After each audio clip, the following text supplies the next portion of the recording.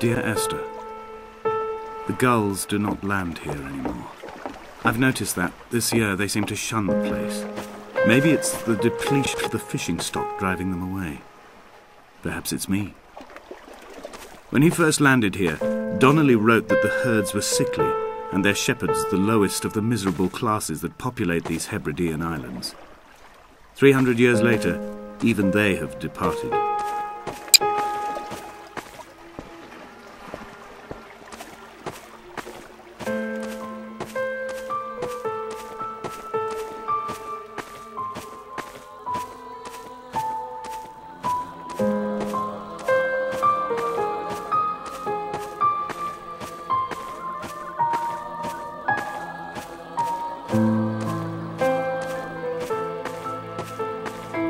Donnelly reported the legend of the hermit, a holy man who sought solitude in its most pure form.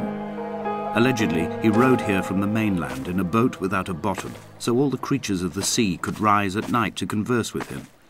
How disappointed he must have been with their chatter. Perhaps now, when all that haunts the ocean is the rubbish dumped from the tankers, he'd find more peace. They say he threw his arms wide in a valley on the south side, and the cliff opened up to provide him shelter. They say he died of fever 116 years later. The shepherds left gifts for him at the mouth of the cave, but Donnelly records they never claimed to have seen him. I have visited the cave and I have left my gifts, but like them, I appear to be an unworthy subject of his solitude.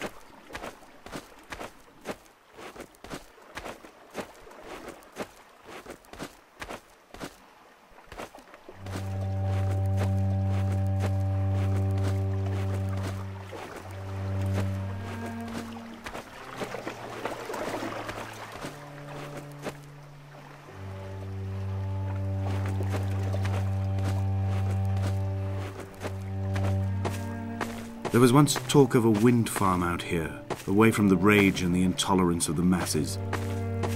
The sea, they said, is too rough for the turbines to stand. They clearly never came here to experience the becalming for themselves. Personally, I would have supported it. Turbines would be a fitting contemporary refuge for a hermit. The revolution and the permanence.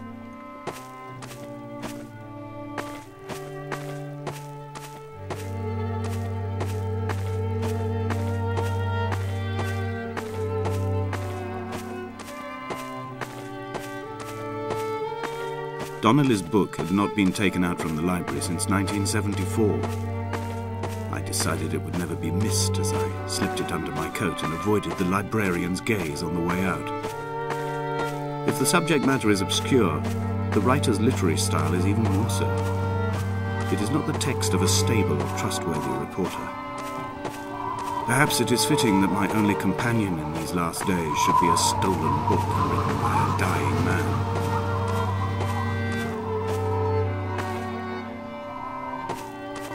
When someone had died or was dying, or was so ill they gave up what little hope they could sacrifice, they cut parallel lines into the cliff, exposing the white chalk beneath. You could see them from the mainland or the fishing boats, and know to send aid or impose a cordon of protection, and wait a generation until whatever pestilence stalked the cliff paths died along with its hosts. My lines are just for this to keep any would-be rescuers at bay. The infection is not simply of the flesh.